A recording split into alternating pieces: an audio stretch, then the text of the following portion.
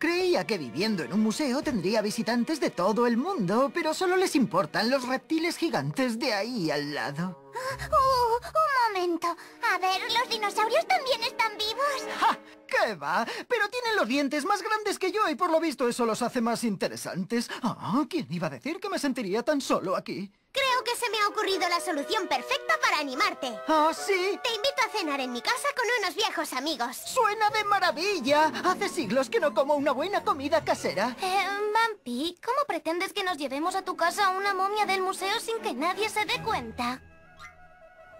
Normalmente no me pondría ni muerto nada que no fuera algodón egipcio, pero supongo que tendré que aguantarme. Muy bien, ya sabéis el plan.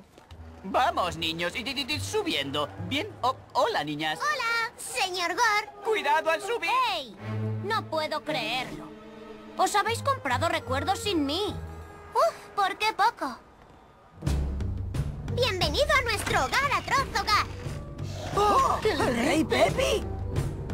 Soy yo, es un poco más bajito que en los libros de historia. Siempre son más bajitos. ¡Rey Pepe! Oxana Boris, qué alegría veros, amigos. Es eh, una alegría verte también. Por favor, siéntete como en tu casa, Rey Pepe. Bumpy, ¿podemos hablar contigo en la cocina, por favor? Oh, Bumpy, está muy bien que te traigas recuerdos del museo a casa. Pero lo que no suele hacerse es llevarse a una momia de verdad. Ya lo sé, es que el rey Pepi está muy triste. Nadie se para a ver su exposición en el museo. Pero es un rey muy famoso. ¿No deberían estar todos deseando verle? La gente solamente quiere ver los dinosaurios.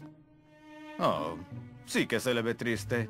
Pensamos que un poco de compañía monstruosa sería perfecta para animarlo. Es todo un detalle por vuestra parte, niñas. Supongo que por una noche no pasa nada, siempre que no lo echen en falta en el museo. Ah, según parece, todo el mundo estará distraído con los dinosaurios. Pues no hay un momento que perder. Hay que animar a nuestro querido rey. Oh, ¿Podemos ayudar? ¡Por fin, por fin! Pues claro. Al fin y al cabo, ¿cómo íbamos a hacer que un rey se sintiera como un rey sin un par de fieles súbditos a su servicio? ¡Yupi! ¡Podemos ayudar animar al rey! Se hace saber que la operación desenfurreñar al rey se da por comenzada. ¿Soy el reposapiés otra vez? Lo admito, sabéis tratar a un rey como... Bueno, como a un rey. Pues espera a ver lo que hemos cocinado para cenar.